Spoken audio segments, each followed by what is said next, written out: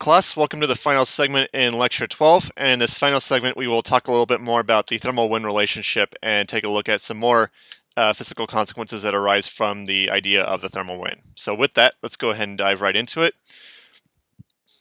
Excuse me. So you may recall from the previous uh, the previous uh, segment, hopefully I can talk straight. So as you recall from the previous segment, this was the mathematical result that we got from that derivation, that really long derivation. And if we want to, we can sometimes, a lot of times you'll see this uh, left-hand side, instead of expressed as geostrophic wind net pressure 2 minus geostrophic wind net pressure 1, sometimes you will also see that written as the geostrophic wind at the upper level minus the geostrophic wind at the lower level, just to sort of uh, make things a little bit more straightforward. But I want to focus on this vector quantity right here. So here I have a vector subtraction going on. The geostrophic one at the upper level minus the geostrophic one at the lower level. Now, to sort of simplify things down for what we're about to show, I want to go ahead and actually rearrange this term so that instead of having rearrange the terms of this equation so that instead of having a vector subtraction, I have a vector addition, which is a lot easier to and a lot simpler to work with. So if we do that, we get that the geostrophic uh, wind at some upper level must be equal to the thermal wind vector plus the geostrophic wind at the lower level.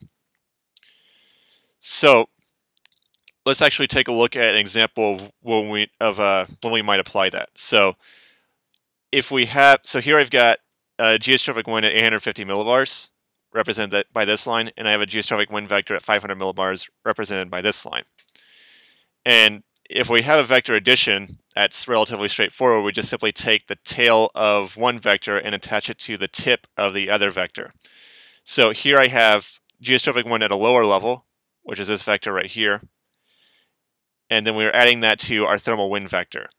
So if we're using the tail on tip method, that means the, tip, the tail of the thermal wind goes on the tip of the geostrophic wind at a lower level, and then that thermal wind vector, the tail goes here and the tip goes toward the resultant here. So if you didn't have, if we didn't have this uh, geostrophic wind at an upper level and we just did this vector plus the thermal wind vector, the lower vector plus the thermal wind vector, then that would mean the resultant, that is the end result the addition, would look like this geostrophic wind vector that's at the upper level. Or put in more simpler terms, to get the thermal wind, given a geostrophic wind vector at a lower level and an upper level, just simply take the tail of the thermal wind, attach it to the tip of the geostrophic wind at the lower level, and then connect that vector with the tip of the geostrophic wind vector at the upper level. And hopefully that makes sense. You might need to walk through that uh, a few more times before it will start to make more intuitive sense. But if we apply that logic, just uh, just sort of an extension of the idea of a vector sum. If we apply that logic, we take the tail of the thermal wind vector, attach it to the tip of the geostrophic wind vector at the lower level. So lower geostrophic wind, attach the tail of the thermal wind to the tip of that, to the tip of this vector, and then we connect that with the tip of the geostrophic wind at the upper level to get our thermal wind vector represented by the red arrow here. Now you may also remember from the previous segment, if we have our thermal wind vector drawn, which we do, that means that I've got to have warmer air to the right of the thermal wind and colder air to the left of the thermal wind. And also, you'll notice that as we go from the lower level to the upper level, the winds are turning clockwise with height, and this is referred to as a veering wind profile, or just simply veering winds.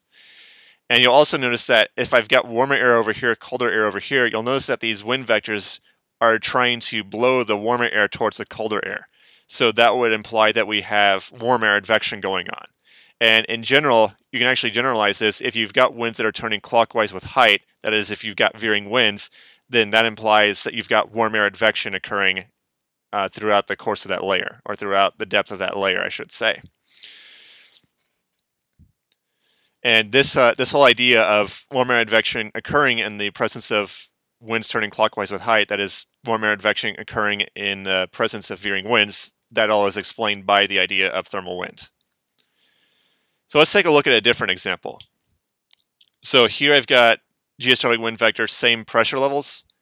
Here's my lower pressure level and here's my upper uh, pressure level. And if I want to do the same thing we did before, so take the tail of the thermal wind vector, attach it to the tip of the lower geostrophic vector, and then connect that connect the tip of the thermal wind vector to the tip of the upper geostrophic wind vector to get this result, that would be my thermal wind vector. And again, by the way we've defined thermal wind, I've got to have warmer air to the right of the thermal wind, colder air to the left of the thermal wind vector. So that gives me a profile that looks like this. And just based on the direction this wind is blowing here, that implies that I've got colder air being blown towards warmer air, which then implies that I've got cold air advection going on. And if we go uh, if we go vertical, as we go from the lower level to the upper level, you'll see that the winds are in fact turning counterclockwise with height, and this is what's referred to as a backing wind profile or backing winds. And just based on the thermal wind relationship, and we can generalize this, just based on the thermal wind relationship, if we've got winds turning counterclockwise with height, that is if we have backing winds, that would imply that we have cold air advection happening throughout the depth of that layer. So that's great and all. However, there are a couple restrictions that we have to keep in mind, and those restrictions kind of stem from the very basic definition that we started with. So we we derived the thermal wind equation using the concept of geostrophic wind. So that would then imply that thermal wind is only applicable, it will only truly represent the atmosphere if the flow is geostrophic, if the flow is approximately geostrophic. So if there's a place in the atmosphere where that's not the case, then thermal wind is not going to work so well. And one example of that might be near the equator. Geostrophic wind is not well modeled near the equator because of that 1 over F term that appears out in front. So thermal wind doesn't work so well down there.